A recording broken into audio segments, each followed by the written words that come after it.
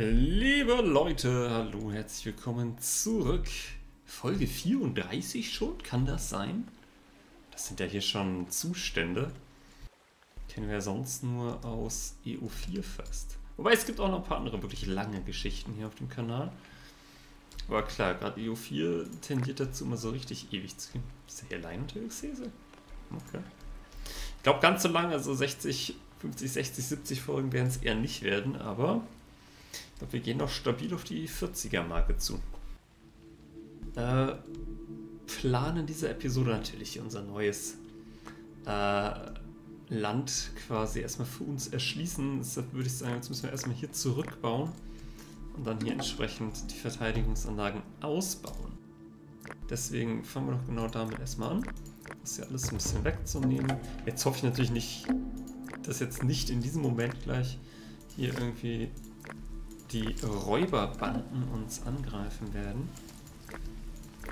Ähm, das kann weg. Die Türme können ja im Grunde so stehen bleiben als Zwischentürme. Das heißt, es hält sogar in, Aufwand, äh, in Grenzen, was wir hier auch neu errichten müssen an Türmen. Wir gucken mal kurz auf den Händler. Äh. ist der nicht hier? Wo ist er? Hey, der steht doch sonst immer hier. Ähm.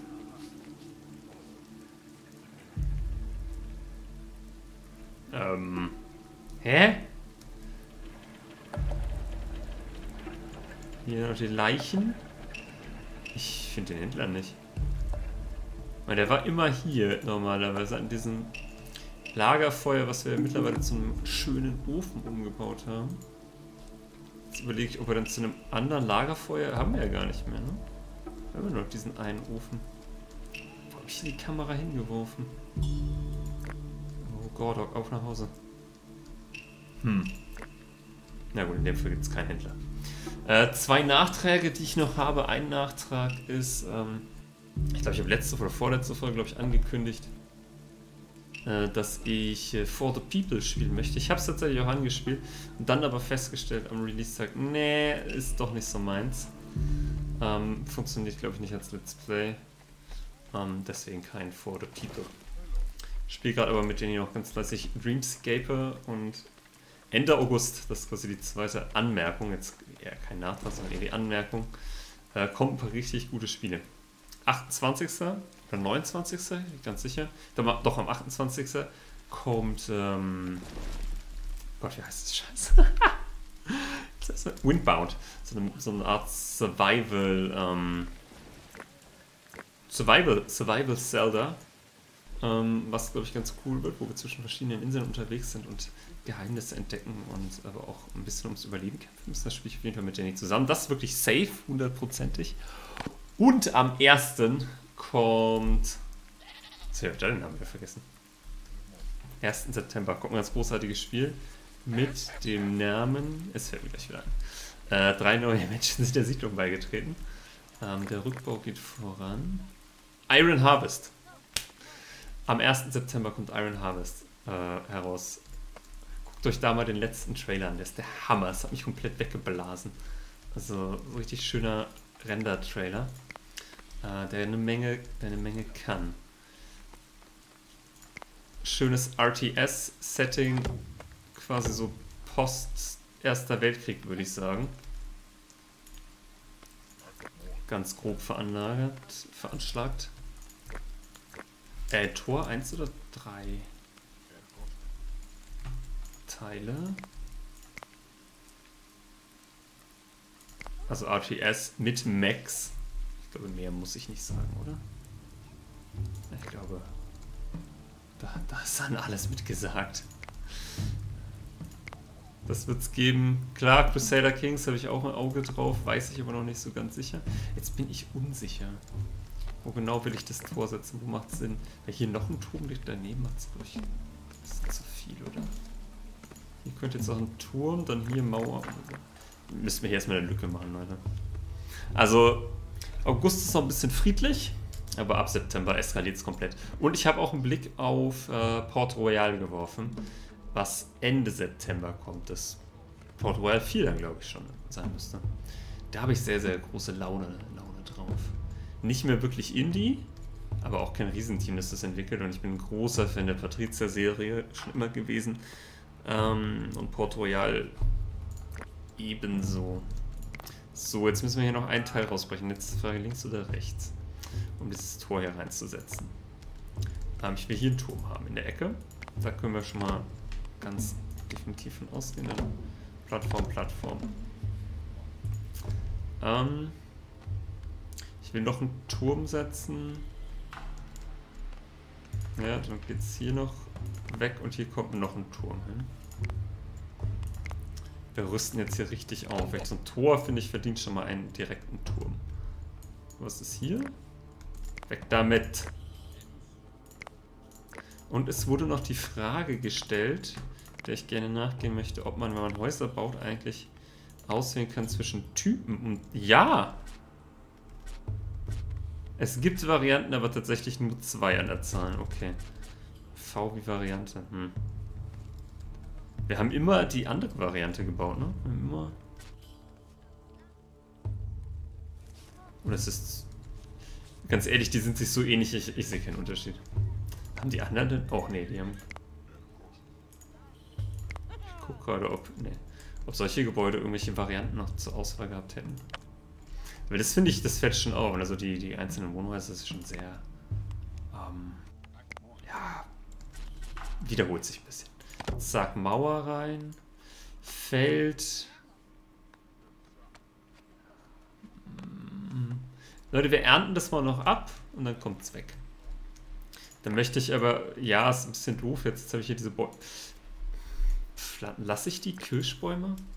Ich finde es schon cooler, wenn hier dieser Weg Richtung Feld eigentlich frei ist. Es sieht ein bisschen komisch aus. Nein, der muss leider weg. Leider weg. Dann kommt hier nämlich das Feld noch weg.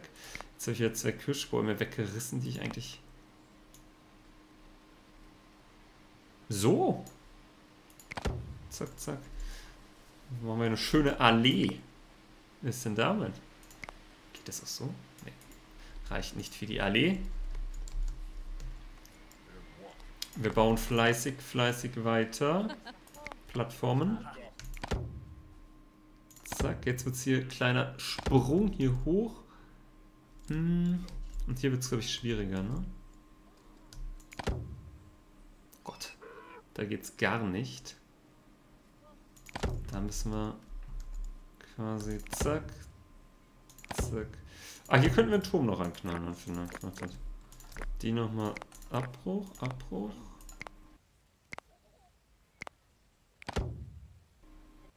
Zack, und hier noch ein Turm. Hier noch ein Turm. Hier noch ein Turm ganz oben. Hier könnte auch ein Turm. Oh, hier könnte noch ein Turm. Es wird ein bisschen eng eigentlich, oder? Irgendwann ist Quatsch. Und die Lücke akzeptiere ich, dass der Turm. Der Turm. Ich glaube, damit können wir leben. Das ist dann unser neues Set. So, wo ist jetzt der fucking Händler? Okay, sagt mir bitte, wo seht ihr hier den Händler? Kann es sein, dass ich dieses Start... Ach, hier! An dem Lagerfeuer! Ja, das kann ja wohl weg. Ach du Scheiße. Verstärktes Schild. Ja, aber es gibt nicht mehr wirklich, was ich kaufen will, oder? Ich meine, klar, wir könnten mal so einen Deal schon machen, aber...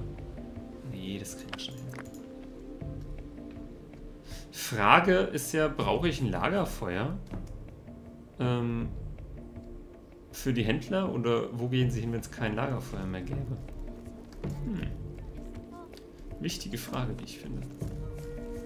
So, lustigerweise, jetzt wo ich hier die Verteidigungsanlagen innen gebaut habe, sieht dieser Raum, den ich hier quasi genommen und erschlossen habe, äh, schon nicht mehr, mehr annähernd so groß aus, wie ich dachte. So viel Platz haben wir hier gar nicht erschlossen, fürchte ich fast. Aber schauen wir mal. Also nur mal theoretisch. Na, das Steinmal äh, könnte man... Ja, schon so, ne? Das wäre ungefähr hier so. Müsste weiter nach links sogar. Ah ne, so geht's nicht.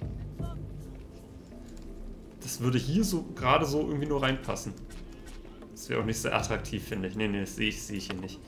Ja, wir bleiben dabei, dass wir hier Stelle setzen wollten. Wir haben ja gesagt, dass wir das ausbauen wollen. Ähm, ich sag mal zwei auf jeden Fall. Und dann gucken wir mal weiter von da ausgehen, ne? Dass wir hier so ein bisschen das diversifiziert kriegen. Ich weiß nicht, lassen wir hier so eine ganz große Straße. Und dann setze ich hier mal zwei Ställe. Mit dem Abstand? Ja, ein bisschen, ne? Ich finde es immer ganz angenehm, wenn die ein bisschen Platz zueinander noch haben. Ja, hier ragt es dann wieder ein bisschen mehr auf diese Achse, das ist aber total okay. 500 Leinen, um Gottes Willen. den Platz hier, da sehe ich ungefähr vier weitere Wohnhäuser und oder äh, weitere Ställe. Aber jetzt erstmal plus zwei Ställe. Ähm, sind da 30 weitere Tiere. Damit kommen wir nahrungstechnisch auf jeden Fall ganz gut hin. Äh, gucken wir, erstmal bauen wir die Ställe und dann gucken wir uns die Limits mal an. Eins nach dem anderen. Dann haben wir das noch im Bau. Türme sind noch im Bau. Es fehlt ein bisschen an Eisen. Aber passt vier Eisenerz, ne? Ich überlege, ob man diese Mine hier auch bei Zeiten noch ausbauen sollte. Ja, sollten wir. Äh, es fehlt Holz, ne? Sehe ich das richtig? Jetzt habe ich keine Ahnung, wo meine Holz... Doch, doch, doch, doch, doch, irgendwas war hier, ja. Was haben wir hier eigentlich? Gut, Scheinchen. Ähm... Hier ist ja kaum was. Das Tanningebiet. Das wollen wir natürlich lassen, wie es ist. Wir können das hier direkt... Hier ist auch Tannin, ne? Überall sammeln wir Tannin. Wisst ihr was? Ich glaube, wir brauchen nicht mehr so viel Tannin. Das kann mal weg. Können wir hier auf jeden Fall ein Tanningebiet wegnehmen. Holzen wir da mal ein bisschen. Ist jetzt natürlich wieder Erntezeit. Aber das geht relativ flott, oder? das Gefühl. Und der Herbst hat gerade erst angefangen. Wir sind bei 73% Auslastung. Was ist denn hier los? Hier ist noch ein Feld, hier ist noch ein zweites Feld. Will ich auch mal im Blick behalten jetzt so die Korn äh, Stroh-Relation. Gerade wenn ich jetzt 30 weitere Tiere würde, glaube ich, nicht schon reinhauen. Die Nahrungssituation ist, glaube ich, wieder im Griff, ne? Aber klar, im Grunde kann man sich, wurde mir in den Kommentaren auch eine dankenswerterweise ein bisschen vorrechnen, natürlich so ein bisschen auch alles mal zusammen addieren, dann kommt auch oft nicht mehr ganz so viel hin. Äh, gemüsetechnisch, jetzt wo ich ja festgestellt habe, dass es doch was länger hält, äh, stehen wir, glaube ich, ganz gut da. Mit steigender Bevölkerung will ich auch hier und da mal einen Blick in die Lagerhäuser riskieren. Ich meine, da ist schon noch Platz, aber auch nicht endlos, ne? Ich meine, es sind natürlich viele angefangene Stacks dann auch immer dabei. Ich will jetzt noch keinen Alarm schlagen. Unsere Getreidespeicher, die sind, die sind, das passt, das ist in Ordnung. Was ist eigentlich mit Nüssen in der Haltbarkeit? Äh, Nüsse. Ein halbes Jahr nur. Also wenn ich hier ein paar, paar Haselnüsse rumliegen habe oder sowas. Na gut. Ja, schon nicht so lang, ne? Ja.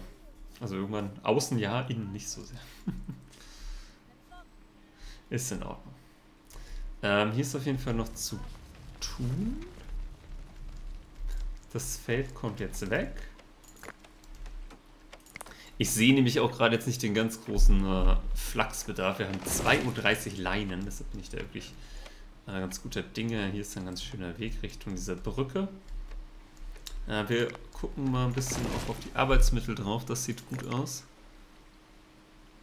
Ähm, Pferde nur 6. Da werde ich wieder das Limit erhöhen, um da die Population zu stabilisieren. Wir können da wirklich komplett dann neu rangehen. Ähm, Tierlimits. Ah, es fehlt tatsächlich an Holz, aber kommt, ne? Kommt. bisschen tiefer hier rein. Durchaus mal noch jemanden. Hier, ballert mal ordentlich weg. Äh, 12 Wissen. Oh, wir haben ja. Boah, wir haben wirklich alles schon freigeschaltet. Bis auf verstärkte Schilder. Jetzt. Zack. Und dann noch 12 Wissen mit Kettenrüstung. Und da bin ich gespannt, was dann eigentlich noch kommt. Ob man mit dem Wissen dann noch irgendwas anfangen kann überhaupt. Und wo der Händler jetzt ist. Aha. Äh, Hallo? Ich sehe ihn nicht. Ich sehe ihn wirklich nicht. Doch, Gott, quetscht sich hier irgendwo rein. Hat mir Pferde mitgebracht, aber Männchen. Ist uninteressant, ne? Äh, Brauche ich alles nicht. Passt. Ein bisschen einen Blick aufs Eisenerz werfen. Ich glaube, ich werde mal die zweite Mine ausbauen. Äh, äh, äh, tiefe Eisenmine. Gut, gut, gut, gut. Oh, es sieht schon gut aus, unser kleines, ich bleib dabei, kleines Städtchen. Wir werden auch noch ganz schön expandieren. Hier, dieser Bereich, ne, ist natürlich ein bisschen schwieriger, hier großartig zu expandieren. Ich glaube, da wird es bei Feldern bleiben. Aber haben wir schon skizziert, dass wir eher hier noch, glaube ich, erweitern, beziehungsweise hier zur Flussseite äh, den Teil noch mal ein bisschen ausbauen. Hm, weil jetzt muss hier das erstmal, wir haben ja erstmal Platz, das muss jetzt erstmal gefüllt werden. Dann erste große Baustelle, also wir haben ein paar Baustellen, ne? aktuelle Baustellen. Gehen wir mal durch. Äh, einer natürlich die, die Nahrungssituation, denn wir haben eine nach wie vor dramatisch wachsende Bevölkerung. Wir knabbern an den 100. Hm. Dann müssen wir gucken, dass wir das Schritt halten. Jetzt zum Beispiel Winter, sämtliches Gemüse und alle Nüsse sind schon wieder weg. Also ich glaube, wir können fast noch mehr Hülsenfrüchte anbauen. Die halten sich ja. Äh, die werden im Sommer geerntet. Wo haben wir denn mal hier Erbsen? Äh, Hülsenfrüchte werden im Sommer geerntet, halten sich ein halbes Jahr. Und wenn ich das hier richtig verstehe, dreimal länger haltbar, also anderthalb Jahre. Also easy, gar kein Thema. Das heißt, wir können durchaus äh, hier mal noch ein bisschen investieren, glaube ich. In lecker Kichererbsen zum Beispiel. War ja auch noch so ein Thema, dass wir gesagt haben, wir wollen uns mal angucken, ähm, ob unsere Felder vielleicht mal ein bisschen weniger Stückwerk ähm, angesagt wäre hier, aber ist auch ein bisschen schwierig. Ich überlege auch nach wie vor, diese, äh, diese Haselnussbäume zum Beispiel, ich mir vorstellen, dass wir die wegnehmen und durch ein Feld ersetzen.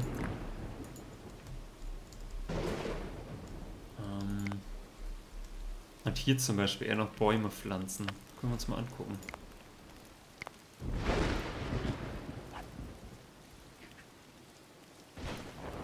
Ja, ist mir zu eng.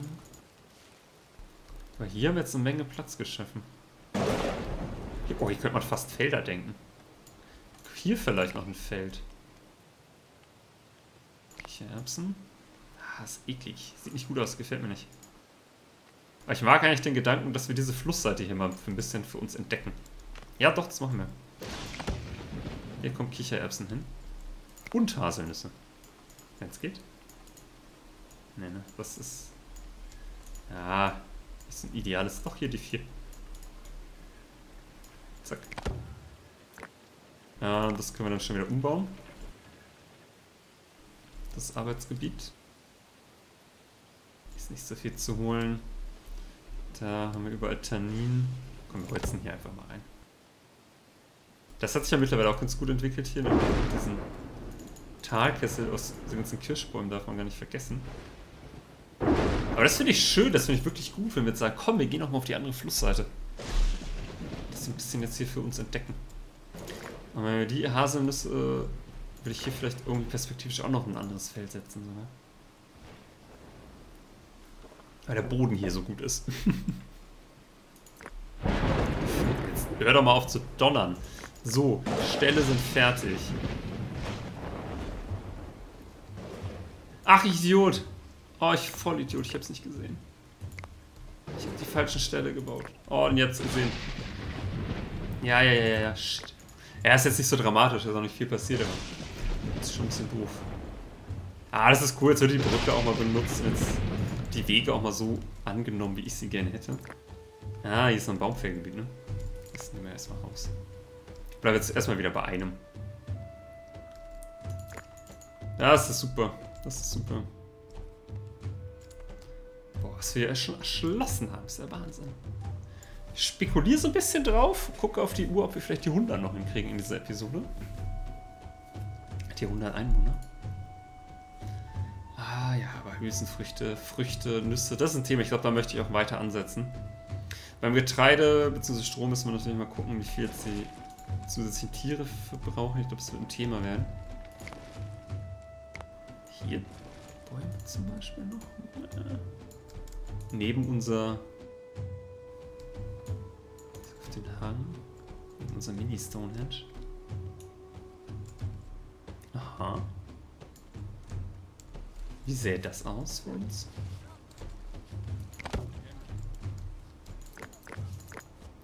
Die kommen weg. Hier guckt mal ein Feld hin.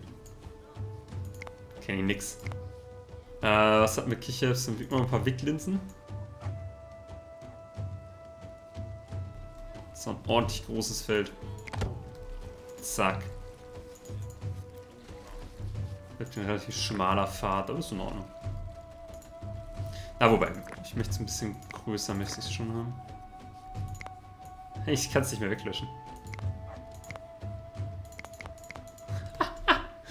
okay, das Spiel sagt nein, das darfst du nicht abbrechen. Tu es nicht. Ist in Ordnung. Alles gut. Ich weiß, diese Umstrukturierungen mit den Bäumen, die kosten natürlich auch immer wieder ein bisschen Zeit, aber... Da fände ich es Quatsch was er so in diesen Weg reinschlägt. Hier vielleicht noch. Mhm. Oh, hier sogar könnte man sogar vier hinsetzen. Frage, ja, um diese, gerodeten Haselnussbäume wieder ein bisschen reinzuholen. Zwei in der Ecke hier. Hier nochmal vier, dann habe ich die quasi wieder ausgeglichen, die ich gerade abgeholzt habe, plus nochmal vier dazu. Und dann noch zwei Felder. Und dann haben wir, glaube ich, an der Hülsenfrüchte-Front ein bisschen was gedreht. Was ist hier eigentlich? Das sind, das sind so einzelne Felder. Das ist ein sehr kleines Flachsfeld, da müssen wir mal ein Auge drauf halten. Unser großes Flachsfeld. Eine große Gerste, nochmal Flachs. Und hier die großen, großen Felder vom Tor. Das konnte man gar nicht größer machen, glaube ich, oder? Das Linsenfeld, das geht ja hier eigentlich noch eine Reihe. Könnte es dann noch geben. Aber sowas lässt das Spiel dann auch nicht zu, ne? dass ich jetzt sage, ja, da macht der Godomasch Grenzen, ich kann es gar nicht so ranbauen. Naja. Ach so dumm mit den scheiß Steinständen. Jetzt habe ich hier einmal quasi völlig umsonst das bauen lassen. Ich würde es gerne noch fertig kriegen. Ich glaube, wir sind doch schon im Bauprozess. Ne? Dann können wir nämlich die Tierlimits noch einstellen. Hier die Geschichte ist fertig. Sieht teilweise ein bisschen abenteuerlich aus. Er ist ein Hochseilgarten geworden. Aber finde ich ganz, ganz hübsch eigentlich. Oh, wir auf 95 runter. Ist aber okay. Ja, Leute, wo seht ihr aktuell noch Bedarf? Gerne mal in den Kommentaren, wo ihr jetzt sagt, äh, wo auch infrastrukturtechnisch vielleicht noch was passieren muss. Hm, würde mich interessieren. Gab, glaube ich, noch den Vorschlag, das Ding, wenn ich mich nicht irre, ähm, auszutauschen durch eine Plattform. Ich baue persönlich darauf, dass diese Plattform äh, entsprechende Range hat. Sehe aber durchaus den Punkt. Ja, vielleicht doch, doch, vielleicht. Hab, hast du, habt ihr recht. Ähm. Nee. Das letzte. Wie wär's, wenn wir... Hier ist auch sehr eng, ne? Hier? Wie wär's, wenn wir hier noch so ein... Ja. Hier ist so ein Transportposten, dafür den weg. Und hier dann ins Eck auch noch eine Plattform reinsetzen. Weil das stimmt schon, diese, diese Ecke hier. Barbaren von hier angreifen über die Brücke kommen und an diese Ecke angreifen. Die haben nur diesen Turm bzw. nur diese Plattform vor, vor sich erstmal. Ich weiß nicht, ob wirklich diese Plattform hier ähm, seinen Teil dazu beitragen kann. So, die Steinställe sind fertig. Wunderbar. Ich erwarte noch, dass das hier zurückgebaut ist. Dann kann ich hier gleich weitermachen. Also sonst vergesse ich das äh, sofort. Jetzt haben wir das hier nur abgerissen. Zack. So. Tierlimits. Äh, wo sehe ich denn insgesamt... Warte mal, wie viel habe ich denn jetzt insgesamt? Gehen wir doch mal hier drüber. 105? Wirklich? Ich habe so viel. Hä? Sicher? Ich habe, warte mal, einmal durchziehen. 1, 2, 3, 4, 5 macht 75, ne? Oh doch. Oh doch. 75 plus 30 macht, äh, wenn ich mich nicht irre, 105. Da, dann habe ich, hab ich mein Potenzial gar nicht ausgeschöpft bisher. Warte mal, wo waren die Tiere da? Äh, was haben wir denn bisher gehabt? 30, 40, 55, 65, 75. Okay, doch, wir haben es ausgeschöpft. Puh, okay. Pferde mindestens 15. Das bringt uns auf 80. Hm. Ja, komm, wir machen mal alles mindestens auf 15. Jetzt haben wir 90, ne? Ja, so, könnten wir nochmal 15 drauflegen. Ich glaube, Schafe brauchen wir nicht. Wir haben haufenweise Wolle. Sehe ich nicht so einen Bedarf. Ziege wäre eine Idee für äh, Milch. Äh, ein bisschen diversifizieren. Sind wir bei 95. Äh, Fleisch war auch immer durchaus mal ein Thema, beziehungsweise wenn wir noch mehr Flüge haben, wird mal auf Schweine noch hochgehen. Ich glaube, mit den Lasttieren kommen wir noch ganz gut aus, aber wir gehen beim Vieh auch nochmal hoch. Jetzt habe ich wieder nicht gezählt. Äh, 60, 90, 105, ne? 23, 60, 90, 105. Okay, das sind gute Limits, finde ich. Schafe brauchen wir nicht so viel, weil wir nicht so viel Wolle brauchen aktuell. Ziegen für Milch. Äh, Gleiches gilt für äh, Vieh, aber die auch unsere, äh, Feld, unsere Flüge auf den Feldern ziehen können. Schweine, die hauptsächlich für Fleischproduktion. Esel fand ich schon gut. Pferde müssen wir auf jeden Fall ran. Oh, ich sehe auch Pferde. Ist einfach, funktioniert nicht, ne? Funktioniert überhaupt nicht. Schweine auch schwierig. Oha. Unsere komplette Schweinepopulation, auch nur bei neun, alles männliche Tiere. Schweine und Pferde sind ein Thema. Okay. Pferde wäre immer schon schwierig, aber Schweine? Jetzt muss ich fucking Wildschweine suchen gehen. Jetzt geht's aber los. Ich fürchte, es sprengt jetzt ein bisschen den Rahmen dieser Folge. Würde es aber gerne noch machen, weil ich es garantiert vergessen werde. Ich habe nämlich nur Zeit, jetzt mal eine so eine Folge einzustreuen danach. Ähm, mache ich erstmal ein kleines Päuschen. Einen anderen Kram. Äh, wir beenden mal die Folge mit Blick auf die Steinstellen. Merke ich mir vielleicht und fällt mir vielleicht wieder ein, dass ich, ähm, dass ich da noch was machen wollte. Das Ding habe ich gerade gestört. Das guckt mal ein bisschen weiter an den Rand. So. Was ist das für eine Sichtachse, wenn ich hier direkt auf so eine Fahne gucken muss? So, Freunde. Äh, wir haben noch eine Menge geschafft. Ähm, unser neuer Stadtteil erschlossen. Er wächst, wächst jetzt vor sich hin. Wir haben neue Felder angelegt. Äh, neue Bäume, um der stetig wachsenden Bevölkerung von Babylon gerecht zu werden. Jetzt über 100 Plätze für Tiere in unseren Stellen. Das ist auch ein wichtiger Sprung, glaube ich, um auch einfach mithalten zu können in der Bevölkerungsentwicklung. Kann und wird wahrscheinlich bedeuten, dass wir relativ bald äh, mehr Getreide und Stroh brauchen. Stroh geht, glaube ich, noch, aber Getreide jetzt im Frühling. Wir haben nur noch 16. Das könnte echt knapp werden. Ich glaube, wir sind aus der Nahrungsmittelkrise noch nicht so ganz raus. Also es droht nach wie vor Hunger in Babylon. Da werden wir auf jeden Fall gegen vorgehen in der nächsten Episode. Macht's gut, bis dahin. Ciao.